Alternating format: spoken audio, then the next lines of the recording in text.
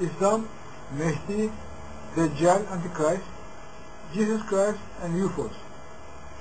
Before bringing my research about the above-mentioned title to your esteemed site, I have to explain the reason why I was interested in the subject.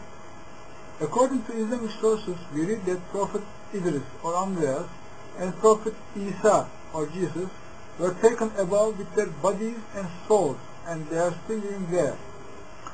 Are transportation vehicles used to take them above.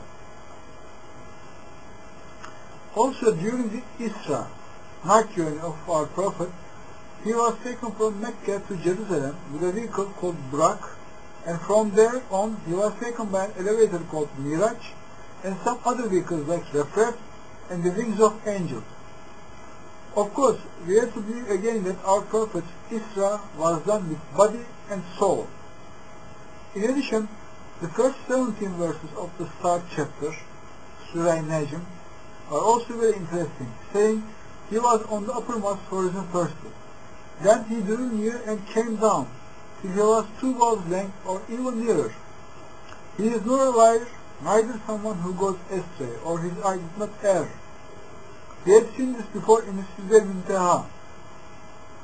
The Quran scientist explains him as Archangel Gabriel or Jibril alayhi Saying thus the humans managed to transfer light from one place to another.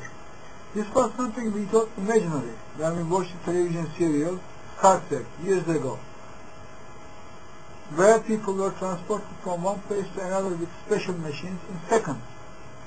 This last invention is a big step in science.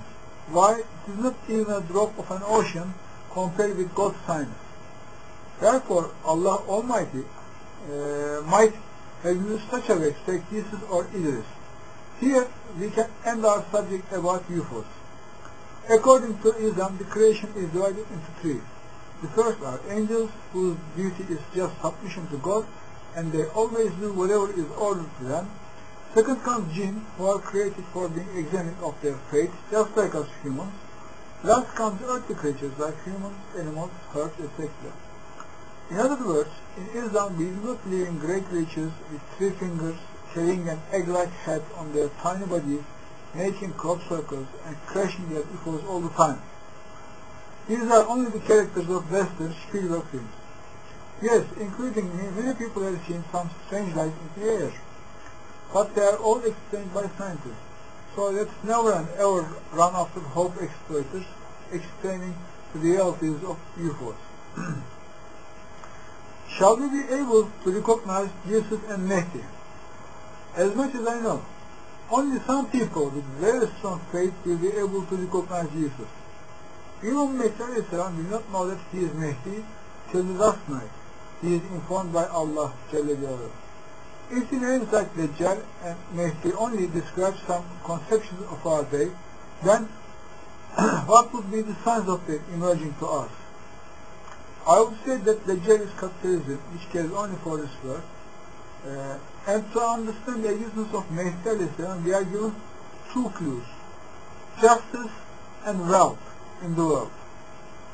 If we take wealth firstly, we see that the ultra-high science and technology of our day have caused big improvements in agriculture, industry, medicine, and civil engineering, and reminds us the words of Prophet Muhammad, saying, Mahdi will come by scattering richness everywhere.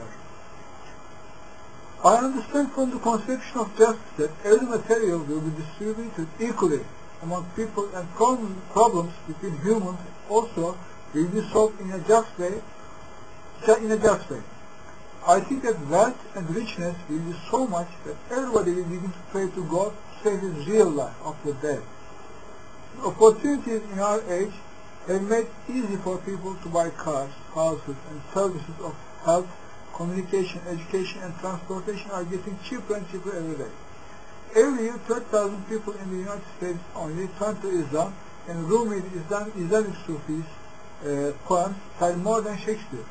According to me, inshallah, Allah will complete his life very, very soon. Our duty is to thank all the time and ask for Allah's help with patience and praying, with salah and sabr, and to protect our faith.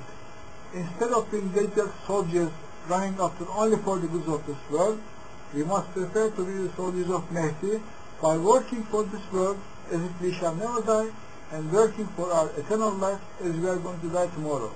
Thank you, God.